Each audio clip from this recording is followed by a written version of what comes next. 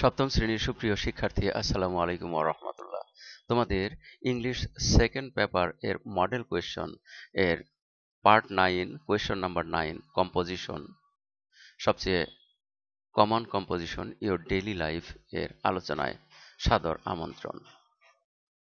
আর question number নাইনের মধ্য দিয়ে মডেল কোয়েশ্চন এর নয়টি প্রশ্নের সমাধান শেষ হবে।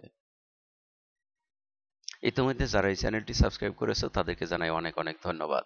যারা এখনও চ্যানেলটি সাবস্ক্রাইব করনি প্লিজ সাবস্ক্রাইব করে নাও। পরবর্তী ভিডিওর নোটিফিকেশন পাওয়ার জন্য এছাড়া তোমার সাবস্ক্রিপশন আমাকে পরবর্তী ভিডিও আরও উন্নত করার ক্ষেত্রে উৎসাহ যোগাবে।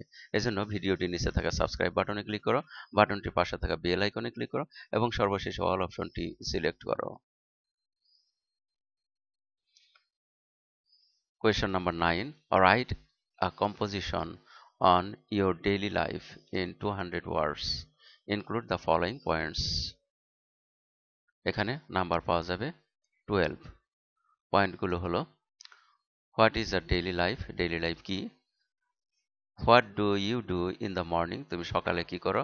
What do you do at your school তোমার বিদ্যালয়ে কি করো? What do you do in the afternoon তুমি বিকালবেলায় কি করো? What do you do at night তুমি রাতে কি করো? এই পাঁচটি পয়েন্টের উপরে তোমাকে রচনা লিখতে হবে, তা দুইশো ওয়ার্ডের মধ্যে। তবে আজকের এই আলোচনায় কিছু বেশি ওয়ার্ড দেওয়া হয়েছে তোমাদের বোঝার সুবিধার জন্য তোমরা এখান থেকে সংক্ষিপ্ত করে নিতে পারো। ইয়োর ডেইলি লাইফ তোমার দৈনন্দিন জীবন। এখানে তোমরা যেহেতু চিঠি লিখ এই কম্পোজিশনটা লিখবে। সুতরাং তোমরা লিখবে আওয়ার ডেইলি লাইফ আমাদের দৈনন্দিন জীবন বা মাই ডেইলি লাইফ আমার দৈনন্দিন জীবন daily life means how we spend our life every day দৈনন্দিন জীবন মানে আমরা প্রতিদিন কীভাবে আমাদের জীবন কাটাই। Our life is very transitory আমাদের জীবন খুবই ক্ষণস্থায়ী If a man follows a routine in his everyday life and makes the best use of time, he is sure to prosper in life. যদি একজন মানুষ তার দৈনন্দিন জীবনে একটি রুটিন অনুসরণ করে এবং সময়ের সর্বোত্তম ব্যবহার করে তবে সে নিশ্চিতভাবে জীবনে উন্নতি লাভ করবে now I am a student of class seven এখন আমি সপ্তম শ্রেণির একজন ছাত্র। So I follow a routine to perform my daily duties regularly তাই আমি নিয়মিত আমার দৈনন্দিন দায়িত্ব পালনের জন্য একটি রুটিন অনুসরণ করি। I get up from bed early in the morning আমি খুব ভোরে বিছানা থেকে উঠি।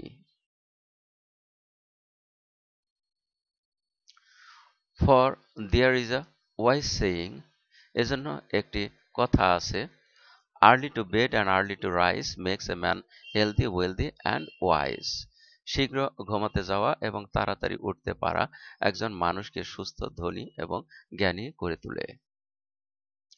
At first I perform my morning duties প্রথমে আমি আমার সকালের দায়িত্ব পালন করি। I wash my hands face and brush my teeth well আমি আমার হাত, মুখ ধুয়ে ভালো করে দাঁত ব্রাশ করি। Then I go out for a walk in the open air তারপর খোলা হাওয়ায় হাঁটতে বের হই। My mind and body are both refreshed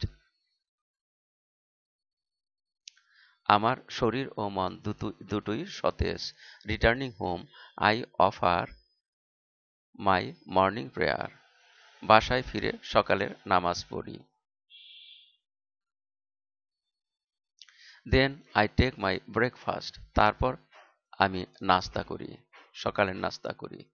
After my breakfast I sit down to prepare my school task আমার প্রাতরাশের পর, অর্থাৎ সকালের নাস্তার পরে, আমি আমার স্কুলের কাজগুলো প্রস্তুত করতে বসেছি। বা আমি বসি। I finish my studies at about nine a m আমি সকাল নয়টায় পড়াশোনা শেষ করি। I take my bath at nine thirty am সকাল নয়টা তিরিশটায়, নয়টা তিরিশে আমি গোসল করি। After finishing my bath I dress my self and sit down to my meal গোসল শেষ করে নিজে পোশাক পরে খেতে বসি। After taking meal I take a little rest খাবার খেয়ে একটু বিশ্রাম নেই।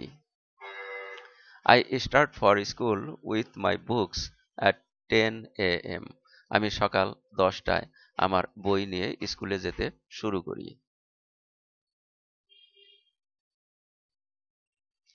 Our school begins at ten thirty a m আমাদের স্কুল সকাল দশটা তিরিশে শুরু হয়।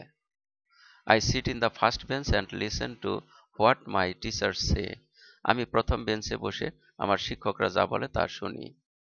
After the fourth period we get half an hour for recreation and tiffin চতুর্থ পিরিয়ডের পর আমরা বিনোদন এবং টিফিনের জন্য আধা ঘণ্টা সময় পাই। Our school breaks up at four thirty pm আমাদের স্কুল বিকাল চারটা তিরিশে ভেঙে যায়। I come back home quickly আমি তাড়াতাড়ি বাসায় ফিরে আসি। Returning home I put my books on the table বাসায় ফিরে বইগুলো আমি টেবিলে রাখি। Then I take off my school dress তারপর আমি আমার স্কুল ড্রেস খুলে ফেলি।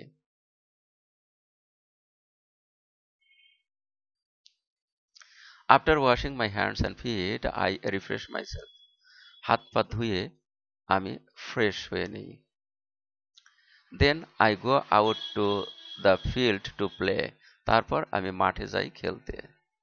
I play football with my friends আমি আমার বন্ধুদের সাথে ফুটবল খেলি। Before sunset I return home সূর্যাস্তের আগে আমি বাড়ি ফিরি বাড়ি ফিরি। On returning home I wash my hands and feet বাসায় ফিরে আমি হাত পা ধুই। Then I sit down to prepare my lessons for the next day তারপর আমি পরের দিনের জন্য আমার পাঠ প্রস্তুত করতে বসি।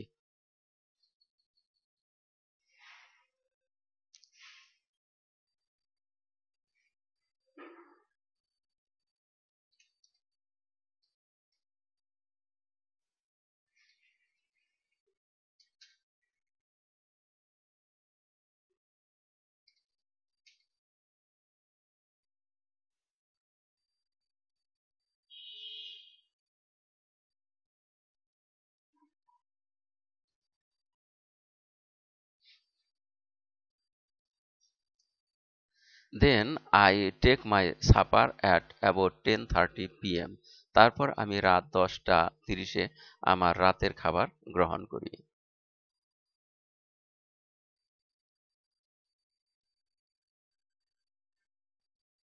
After supper I turn over the pages of magazines and news papers রাতের খাবারের পরে পত্রিকা এবং সংবাদপত্রের পাতা একবার উল্টানো হয়।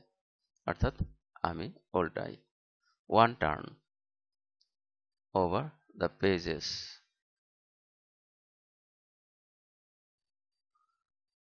Then I go to bed at eleven pm তারপর আমি রাত এগারোটায় ঘুমাতে যাই।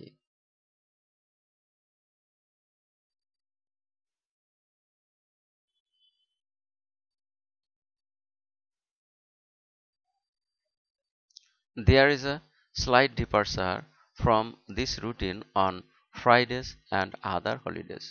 শুক্রবার এবং অন্যান্য ছুটির দিনে এই রুটিন থেকে সামান্য প্রস্থান আছে As Friday is our weekly holiday, I enjoy this day meaningfully.